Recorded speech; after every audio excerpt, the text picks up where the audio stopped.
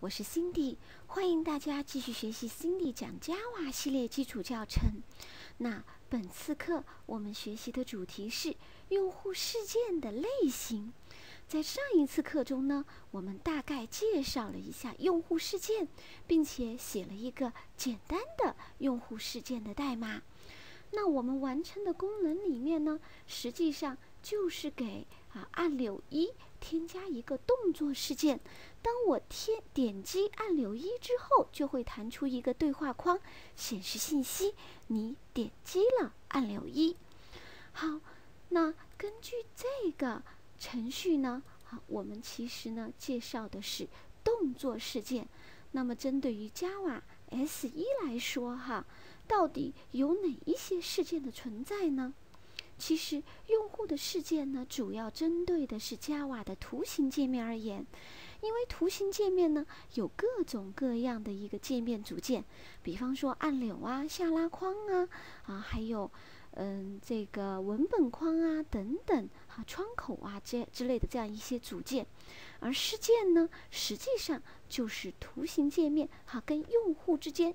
用户跟程序之间的一个交互，啊，比方说我点击按钮，哈，弹出对话框就是一个交互，好，或者是我关闭窗口，啊，弹出一个对话框也是一个交互，又或者呢，是我点击一个啊键盘，哈，点击比方说回车键，那又可能会触发一个事件。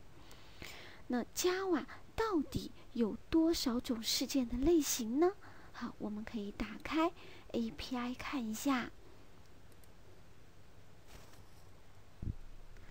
针对于图形界面组件，Java SE 呢提供了 Java 点 AWT 点 Event 包哈，这个包呢是提供哈 Java SE 组件所激发的各类事件的接口和类。当然，并不仅仅只有这样一个 Java 点 AWT 点 Event，它还有 Java。x 点 Swing，Java x 点 swing 点啊，event 提供的是 swing 组件触发的事件使用，啊，是这样子的，因为 Java 的 swing 组件呢是由 AWT 组件扩展而出，所以呢，它至少拥有这样的两个包哈，是 Java 点 AWT 点 event 以及 Java x 点 swing 点 event。我们先打开 Java 点 AWT 点 Event，看一下啊，Java SE 的一些基础的事件类有哪些？按照 Java 的命名规范，哈，事件类应该是以 Event 来结尾，就 EVENT。比方说，第一个 Action Event，这个 Action Event 就是动作事件类型。那除开动作事件类型之外，还有哪些 event 结尾的呢？比方说 component event，，focus event，focus event 是焦点事件。除开焦点事件之外呢，还有 item event，哈，就是选项的这样一个事件。好，除此之外还有 mouse event 也是比较常用的鼠标事件。好，除开鼠标事件之外，还有呢，text event 呀，window event，text event 是文本事件，而 window event 呢，则是窗口事件。好，由此而言哈，至少我们经常会接触到的用户事件类型，哈，会有 action event 呀。Focus Event 呀，Key Event 呀，Mouse Event，好，Window Event，Text Event 等等等等。那针对于不同的事件类型，啊，应该是由不同的事件源来触发。啊，还记得吗？我们的用户事件其实是由事件源、啊事件类型以及事件处理程序组成。那针对于 Action Event，啊，它的事件源。可以有很多，因为动作事件嘛，动作事件的事件源呢，啊，可以有很多组件来触发。比方说，我点击一个按钮，哈，或者是点击一个，嗯，文本框，或者是点击什么什么东西，都有可能触发 action event。那同理，focus event 它的事件源也可以有很多哈，因为它是聚焦事件，我聚焦在哪一个界面组件上，都可能会触发 focus event，哈，或还有 key event 等等，啊，它们的事件源都有很多，我们都必须要识别出到底是由谁触发这个事件源。好，接下来的话呢？啊，我们就可以来看一下哈。我们随便选择一个事件，嗯，针对于每一个类型的事件，其实都会有专门的事件处理程序哈。事件处理程序来执行事件的处理。比方说，action event 它就是 action listener 的这样一个子类哈。因为 action listener 是接口，那 action listener 的子类可以来处理 action。event，好，同理，focus event 可以由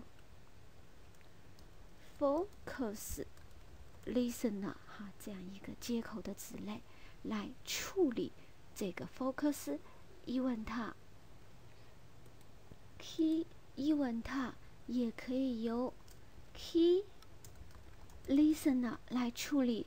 好，mouse event 呢也可以由 mouse Listener 来处理 Window event 哈，也可以用 Window Listener 哈来处理。那现在呢，好，我就用 Window event 来做一个测试。那使用的呢，就是我们之前的接 Text Field Test 方法啊，Test 这样一个类。这个类呢，是提供了一个。文本框的一个组件，哈，用它来完成一个 Window Event 的一个测试程序。那 Window Event，好，Window Event 也在 Java 点 AWT 点 Event 包里面。那它的处理监听器是 Window Listener，哦，它有很多的方法，一二三四五六，还有六个方法要实现。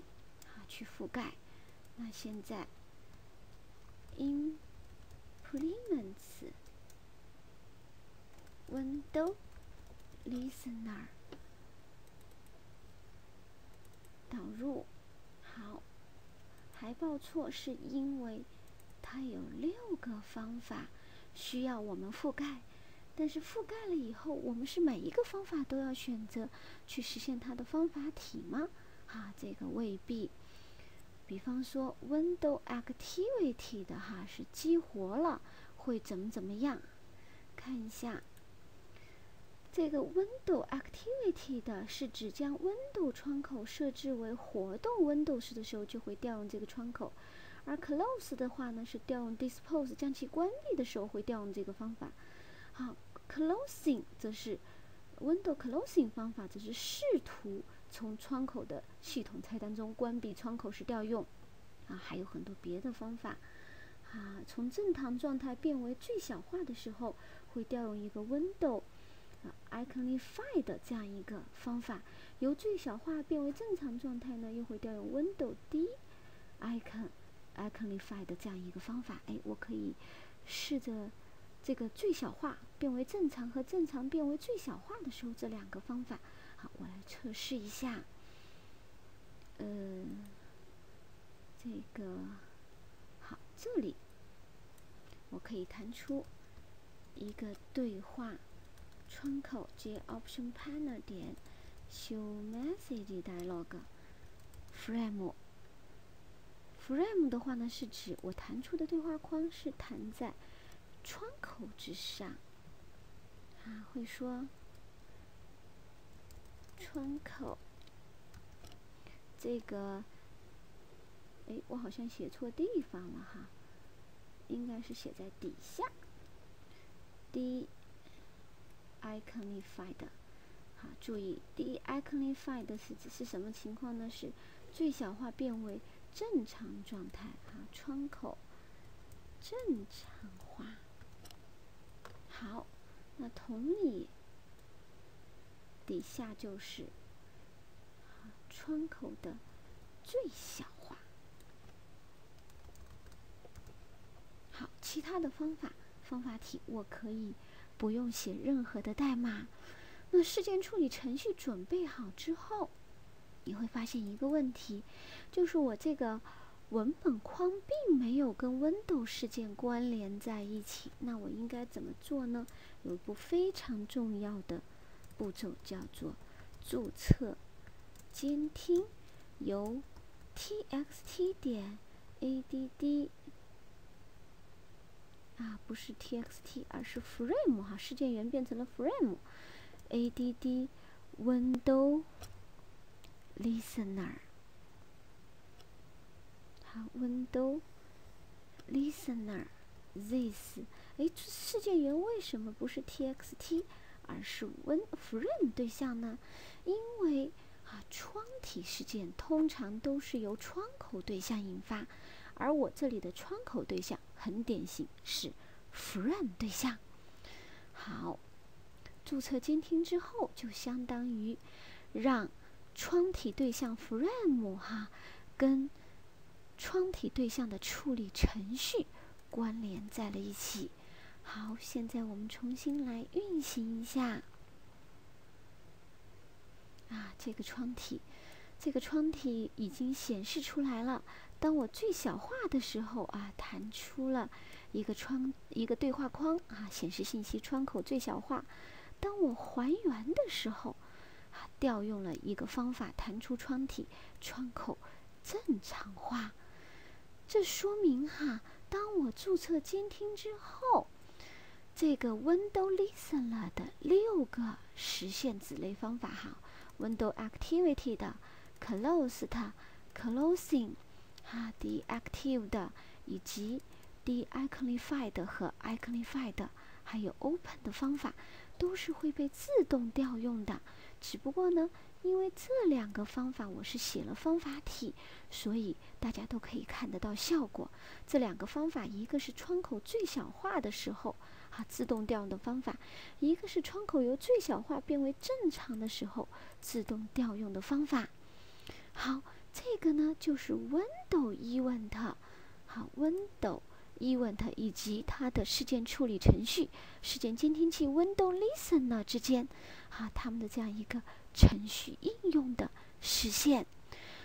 同学们，你们可以下来的时候哈，除开把 Window Event 试着写一遍，也可以去试着写 Key Event、Mouse Event 的这样一些触发。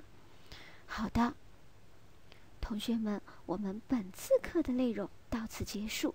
关于 Java 事件的东西呢，我们其实还有很多的东西需要介绍。那看我们后面的课程，一个一个挨个来介绍。好，同学们再见。